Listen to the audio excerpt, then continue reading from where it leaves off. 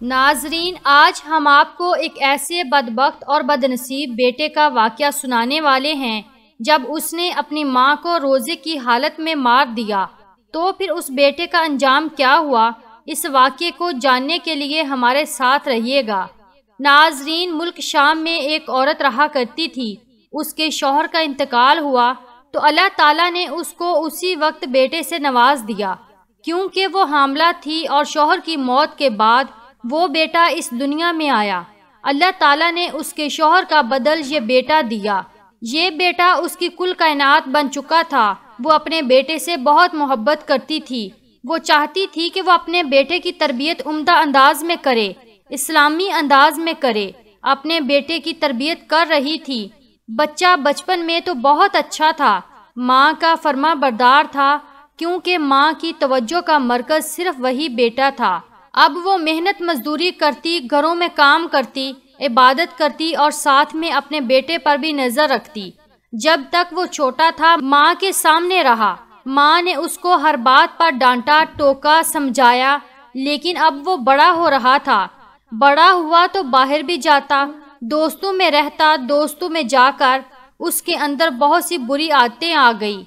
यानी पहले वो पाँच वक्त की नमाज़ पढ़ता, यानी कि बचपन से ही रोज़े भी रखता, नमाज़ भी पढ़ता, लेकिन अब तो दोस्तों के कहने पर वो रात रात भर बाहर रहता, नशा करने लग चुका था।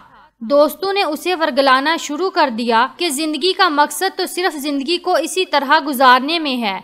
ऐशो आराम से रहो, तुम्हारी माँ कमाती है और जो कुछ वो कमाती है, तुम्हारा ही हक बनता है। कि तुम पर ही उसका पैसा खर्च हो। बेटे के अंदर ये बातें डालने वाले उसके दोस्त थे। अब वो माँ के पैसों को जो कि बड़ी ही मेहनत से कमा रही थी, वो हवा में ऐसे उड़ा रहा था जैसे कि उसको मुफ़्त में मिल रहे हों। उसको कोई फ़िक्र नहीं थी, कोई ज़िम्मेदारी उसके सर पर नहीं थी। जब रमज़ान का महीना शुरू हुआ, माँ रोज़े रखती। वो अपने बेटे से भी कहती कि तू भी मेरे साथ मिलकर रोज़ा रखा करो।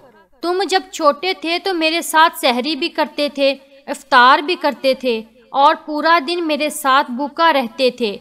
और जानते हो तुम सारी नमाजें भी पढ़ते थे। अब जबकि तुम पर नमाज़ फ़र्ज़ हो चुकी है, रोज़ा भी फ़र्ज़ हो चुका है। और अब तुम ना रोज़े रखते हो, ना नमाज़ पढ़ते हो, ना कुरान पढ़ते हो। तुम्हें बिगाड़ने वाला कौन है? देखो, ऐसे दोस्तों से दूर रहो। वो कहता, अगर आप रोज़ा रख लेंगी तो ये आपका अमल है। आप मेरे पीछे ना पड़ा करें। रमज़ान के महीने में जबकि शैतान कैद हो जाता है, बुरे जनात को भी जकड़ लिया जाता है जंजीरों में तो फिर इंसान वो सारे अमल कर रहा होता है, जो शैतान ने उसको सिखाए होते हैं। अब तो वो जिनाकारी पर भी उतर आया था। एक दिन माँ को उसकी पड़ोसन ने मशवरा दिया कि तुम अपने बेटे की शादी कर दो, क्योंकि इस तरह ये बिगड़ने से बच जाएगा। बीवी आएगी तो ये इसके काबू में रहेगा। अपनी हमसाई की बात सुनने के बाद उसके दिल में ये ख्वाहिश पैदा हुई कि इसने ठीक कहा था। उसने कहा कि तुमने बिल्कुल ठीक कहा, मैं इसकी शादी कर देती हूँ। शादी हो जाएगी तो हो सकता है कि ये अपनी जिम्मेदारियों को समझे, क्योंकि अभी तो ये लापरवाह है। बीवी आएगी तो सुधर जाएगा। यही सोचकर उसने फैसला कर लिया कि रमज़ान जब गुजर जाएगा तो रमज़ान शरीफ के बाद मैं इसका निकाह कर दूँगी। इस दौरान वो लड़कियों की तलाश में थी। उसको एक ऐसा घराना दिखा कि जहाँ पर बज़ाहिर बहुत ही दीनदार इबादत करने वाले थे, रोज़ा रखने वाले लोग थे। लड़की भी उसके सामने जब आई तो उसके दिल में उतर गई। उसने यही सोच लिया कि मेरी बहू यही बनेगी। सारे मामला तय करने के बाद उसने सोच लिया कि मैं अपने बेटे से बात करूँगी। जब वो घर में आई तो उसका बेटा घर में मौजूद था। उसने कहा कि आप कहाँ चली गई थी? तो सारी सूरत हाल उसे बताई। वो कहने लगा कि मैं अभी निकाह नहीं कर सकता। मुझे कोई शौक नहीं है शादी का। माँ कहने लगी कि लड़की खूबसूरत है और सबसे अच्छी बात यह है कि वो अच्छी है। तुम्हारा घर बस जाएगा। उसने कहा कि ठीक है, मैं निकाह करने के लिए तैयार हूँ। वो दरअसल जान छुड़ाना चाह रहा था। रमज़ान गुजरने के बाद उसने अपने बेटे का निकाह उस लड़की से कर दिया, जो बज़ाहिर बहुत अच्छी बहू थी। शुरू शुरू के दिनों में वो अपनी सास की खिदमत करती, उसको बहुत आराम रहने लगा, क्योंकि अब घर में जो काम करती थी, उसके काम करने की वजह से उसको वक्त मिलने लगा और घर का पूरा काम उसकी बहू ने संभाल लिया था। बेटा भी अब अपनी बीवी की बात सुनता, घर से बाहर नहीं रहता था। पहले उसे नशे की आदत लगी हुई थी, अब बीवी की वजह से कम से कम ये हुआ, घर से बाहर नहीं रहता था, दोस्तों का साथ छूट गया। बीवी के समझाने पर उसने मेहनत मजदूरी भी शुरू कर दी। बीवी ने उसे ऐसा काबू में किया, ऐसा फंसा लिया, उस पर ऐसा कब्जा किया। वो तो पहले ही माँ का नहीं था, अब तो वो और माँ से दूर हो गया। माँ को ये बात बहुत बुरी लगती थी। हर माँ की तरह उसका भी दिल दुखता था। कि मैंने सब कुछ इस दुनिया में रहकर जो कुछ मैंने किया, अपने बेटे के लिए किया। जो अपनी ज़िंदगी मैंने जवानी बर्बाद कर दी, अपने बेटे के लिए की। मेरे शोहर के जाने के बाद मेरा बेटा ही मेरी दुनिया रहा। लेकिन ये तो मुझे पूछता तक नहीं, अपनी तमाम तर जिम्मेदारियों को समझ रहा है। लेकिन बस गलती ये है कि जो वो कर रहा है, कि अपनी माँ का दिल दुखा रहा है। उसने अपनी बहू से कहा कि ऐसा करो वो मेरे बेटे को कहो कि थोड़ी देर के लिए अपनी माँ के पास जाकर बैठ जाया करे। बहू ने न जाने अपनी सास की ये बात अपने इस शोहर को किस अंदाज में बताई, न जाने उसके शोहर को क्या हुआ। वो तो रात को दंदनाता हुआ माँ के पास आया, उसकी चारपाई को उल्टा दिया, माँ ज़मीन पर गिर पड़ी। बदतमीजी करने लगा कि तुम्हारी हिम्मत कैसे हुई? तू मेरी बीवी से इस तरह की बात करो। एक तो वो बेचारी पूरा दिन काम करती रहती है, सफ़ाई करती है, बर्तन धोती है, कपड़े धोती है, खाना भी बनाती है, तुम्हारी और मेरी खिदमत भी करती है। ऊपर से तुम इसे कह रही हो कि उसने मुझ पर कब्जा कर लिया है। वो मुझे तुमसे दूर कर रही है, तुमसे छीन लिया है। वो हैरानगी से अपने बेटे को देख रही थी कि बेटा मैंने तो ऐसी कोई बात नहीं की। मैंने तो सिर्फ़ कहा था कि थोड़ा वक्त माँ को भी दे दिया करो। इसके बेटे ने माँ को कहा कि मैं हर वक्त बैठा तुम्हें देखता तो रहता हूँ। मैं हर वक्त फारिग तो नहीं रहता। कम से कम अपनी बीवी की वजह से थोड़ा बहुत कमा लेता हूँ। ये सब इसी का किया दरा है। तुमने मेरी ज़िंदगी में आखिर किया ही क्या था? तुम्हारे होते हुए तो मैं नशे में लग चुका था। मैं हमेशा घर से दूर रहता था। अब इसकी वजह से कम से कम घर में तो रहता हूँ। उसकी बात सुनकर उसकी माँ बहुत दुखी हुई। बेटे ने ज़िंदगी में पहली बार मुझ पर हाथ उठाया है। वो बहू को देखने लगी और बहू दूर बैठी उसको मुस्कुरा रही थी। वो बहू बहुत ही शातिर थी। इसने जो कहा उसमें इसकी चाल थी और वो चली गई और अपनी बहू को देखकर वो माँ रोने लगी और अपनी सास को घर से निकलवाना चाहती थी। पहला वार तो उसका खाली ना गया, बल्कि सीधा तीर निशाने पर लग गया। वो दोनों कमरे में चले गए फिर रमज़ान का महीना शुरू हुआ। वो माँ बिल्कुल खामोश हो चुकी थी, वो चुप थी, इसने पहली गलती कर ली थी, अब वो दूसरी बार कोई गलती नहीं करना चाहती थी। अब वो बहू से कुछ नहीं कहती, वो लोग सहरी कर रहे थे, अब तो उसका शोहर भी रोज़ा रखता था। माँ बहुत खुश थी कि मेरा बेटा कम से कम पाँच वक्त का पाबंद हो चुका है वो पाँच वक्त की नमाज़ पढ़ता, लेकिन ये क्या सहरी होकर गुजर भी गई और उसको किसी ने खबर ना दी? वो इंतज़ार में रही तो उसकी बहू रोटी बनाकर उसे आवाज़ देगी। वो बेचारी बूढ़ी औरत खाली पेट रोज़ा रख चुकी थी। वो इबादत कर रही थी। इबादत करते करते उस पर बेहोशी तारी हुई और जब उसकी आँख खुली तो इफ्तार का वक्त हो चुका था। बहू और बेटे ने उम्दा किस्म का खाना खाया। माँ को पूछा तक नहीं। आखिरकार इस बूढ़ी माँ से भूख बर्दाश्त ना हुई। उसने अपने बेटे को आवाज़ दी, बेटा, ज़रा कमरे में आना। उसका दिल तो नहीं चाह रहा था। वो बुरा सा मुँह बनाता हुआ कमरे में दाखिल हो गया और कहने लगा कि क्या काम है। और कहने लगा कि आज आपने रोज़ा नहीं रखा। वैसे तो आप कहती हैं, मैं तो कोई रोज़ा नहीं छोड़ती। उसकी माँ ने कहा कि, बेटा, मैंने रोज़ा रखा था। पर तुम लोगों ने मुझे सहरी के वक्त आवाज़ ही नहीं दी। बेटा अपनी माँ को पूछ तो लेते। उसका बेटा गुस्से से कहने लगा तो क्या हम तुम्हारे नौकर हैं? एक तो मेरी बीवी तुम्हारा काम करती है, मेरा काम करती है। मेरे लिए भी उसने रोटी बनाई और ख़ास कर तुम्हारे लिए भी उसने रोटी बनाकर रखी थी और कह रही थी कि अम्मा जान को आवाज़ दे दीजिए और तुम्हें आवाज़ हम देते रहे। तुमने आवाज़ कहाँ सुनी? वो अपने बेटे से बहस नहीं करना चाहती थी। अगर वो कहती कि मुझे आवाज़ ही नहीं आई, बेटा मैं तो इंतज़ार कर रही थी कि तुम लोग कब मुझे आवाज़ दो, कब मेरे लिए सहरी लेकर आओ, कब मुझे सहरी के लिए बुलाओ। उसने लड़ाई झगड़े से बचने के लिए कहा अच्छा खैर, कोई बात नहीं। उसकी माँ कहने लगी कि तुम लोगों ने इफ्तार कर लिया। उसने कहा हाँ कर लिया। उसने कहा कि मेरे लिए कुछ है। बेटे ने कहा कि तुम्हें तो लगता है हम तुम पर जुल्म करते हैं। तुम्हारी वो बहू तुम्हें पूछती नहीं। उसकी माँ कहने लगी कि ऐसा कुछ नहीं। ऐसा कुछ नहीं कहा मैंने। बस पूछ रही हूँ, क्या कुछ खाने के लिए है? उसने कहा, जो भी है, जाकर देख लो। मेरी बीवी तो सोने के लिए चली गई है। वो बहुत थक गई थी। उसका बेटा वहाँ से जा चुका था। उसकी आँखों में आँसू आ रहे थे कि बेटे ने एक बार भी नहीं पूछा।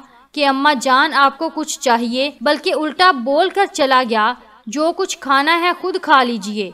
मेरी बीवी हम सब की खिदमत करती है, उसका कोई फ़र्ज़ नहीं है। वो बेचारी उठी लड़खड़ाते हुए कदमों से, बड़ी मुश्किल से चलती हुई वो बाहर आई। शायद बहू ने उसके लिए प्लेट में कुछ रखा हो। वहाँ पर पड़े बर्तन खाली थे, एक रोटी का टुकड़ा भी नहीं था। वो बेचारी पानी पीकर कमरे में आ गई। फिर इबादत करने लगी। लेकिन कमज़ोरी की वजह से वो बार बार बेहोश हो रही थी। दूसरे दिन भी जब शहरी का वक्त हुआ, उसने सोच लिया था कि ये लोग मुझे आज भी आवाज़ नहीं देंगे। मैं खुद ही बाहर आ जाती हूँ। लेकिन जब वो बाहर आई तो उसने देखा कि उसकी बहू मौजूद नहीं थी और बेटा भी मौजूद नहीं था। लगता था कि वो कहीं बाहर चले गए हैं। उसने सोचा कि मैं खुद ही अपने लिए रोटी बना लेती हूँ और जब उसने देखा आटा ही मौजूद नहीं था। बहुत अफसोस हुआ कि मेरे खाने के लिए घर में एक दाना भी मौजूद नहीं। उसकी तबीयत पहले दिन ही खराब थी। कमज़ोरी की वजह से बेहोशी तारी हो रही थी। उस दिन वो बिस्तर पर पड़ी रही और बेटे ने आकर खबर भी ना ली। रोज़ा खुल चुका था, लेकिन माँ को एक घूंट पानी पिलाने वाला उस वक्त कोई नहीं था। उसी बिस्तर पर वो नज़रें जमाए बाहर दरवाजे पर देखती रही। मगर उस पर तो अजीब किस्म का आलम तारी हो चुका था। दो दिन से भूखी प्यासी माँ घर में पड़ी हुई थी और अकलौता बेटा माँ को पूछ भी नहीं रहा था। जब तीसरा दिन आया तो उसकी बीवी कहने लगी कि दो दिन हो चुके हैं, अम्मा जान कमरे से बाहर नहीं आई। आप जाकर देखें तो सही कि उनकी तबीयत तो ठीक है। बेटे को बहुत अच्छा लगा कि मेरी बीवी तो माँ का इतना ख्याल रखती है। जब वो कमरे में आया तो उसने अपनी माँ को हिलाया उठ जाइए, कुछ खा लीजिए। देखिए, मेरी बीवी ने आपके पास मुझे भेजा है, लेकिन उसकी माँ तो हिल ही नहीं रही थी। उसको बहुत दुख हुआ। उसने माँ को जब देखा तो उसकी सांस भी नहीं चल रही थी। उसने चीख कर अपनी बीवी को बुलाया, जल्दी आओ जल्दी आओ। अम्मा जान इस दुनिया में नहीं रही। वो इस दुनिया से चली गई थी। न जाने कब से उनका इंतकाल हो चुका था। बहू को एक इंसानियत के तौर पर अफसोस तो हुआ लेकिन दिल से वो शुक्र अदा कर रही थी कि अच्छा है इस बुढ़िया से जान छूटी, बिला वजह सर पर सवार रहती थी। हर वक्त नसीहतें करती रहती थी, पर अपने शोहर को दिखाने के लिए झूठे आँसू बहाने लगी। आप इतनी खामोशी से हमें कैसे छोड़कर चली गई? अब बेटा शर्मिंदा हुआ कि अब तक गफलत की ज़िंदगी जी रहा था। अब तक माँ की फ़िक्र नहीं थी, ज़िंदगी में सुख नहीं दिया। मरने के बाद एकदम उसके दिल में घबराहट तारी हुई। बड़ी मुश्किल से कफन दफन का इंतज़ाम किया। अल्लाह ताला से दुआ करता कि मुझे माफ़ कर दे।